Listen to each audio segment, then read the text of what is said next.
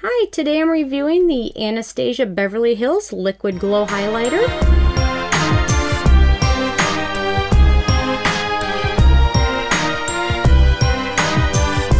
And really quick, I just want to say I've purchased all these products with my own money, so you know you can trust my opinion is what I honestly believe.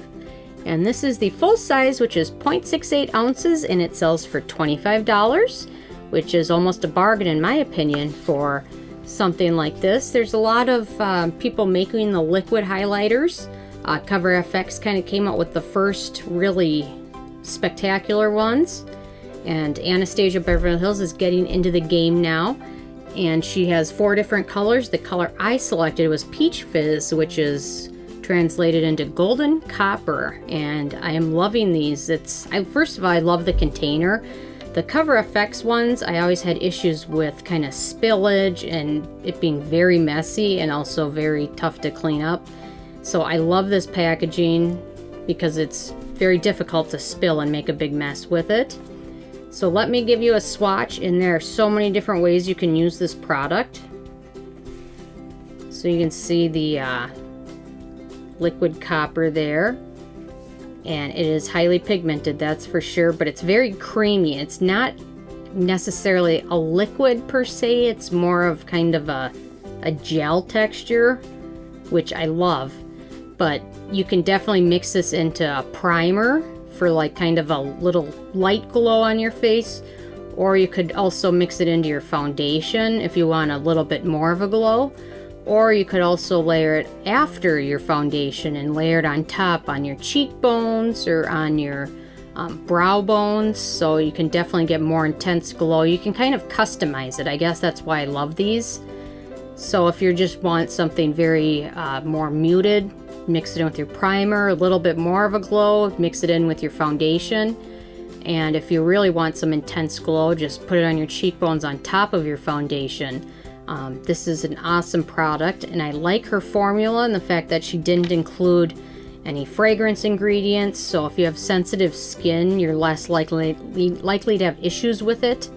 Um, some of the products there's a lot of companies that will mix scent in with everything. So I love that she didn't include that in here.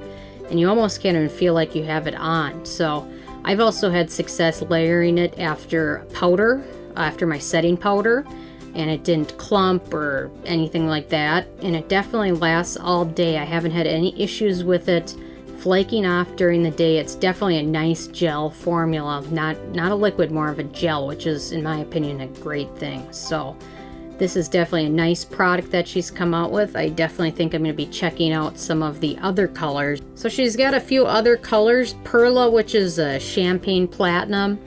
And she's also got uh, Oyster, which is a lighter color, sparkling rose gold, and then Bronzed, which is described as metallic amber. So perhaps if you're a little darker skin tone, that might work well for you. But I definitely think I'm going to be checking these out because I think $25 for this product is kind of a bargain, in my opinion. So this is definitely worth checking out if you liked the Cover FX uh, Enhance you like the Cover FX Glow, this is definitely worth checking out, just it's much less messier. So definitely check this out. I love this product. So, and I wasn't paid to say this and I wasn't given the product to say that. So for me, I'm going to give this two thumbs up. And I'm interested if you guys have had a chance to try this or what is your favorite highlighter? Do you wear highlighters? Do you use powder highlighters, liquid highlighters, uh, cream highlighters? I'm kind of interested to hear from you. I love hearing from you guys. You guys always have good tips and tricks, and you guys, I love hearing from you. So leave a comment and also feel free to subscribe. I come out with at least one new review every single day. Thank you guys.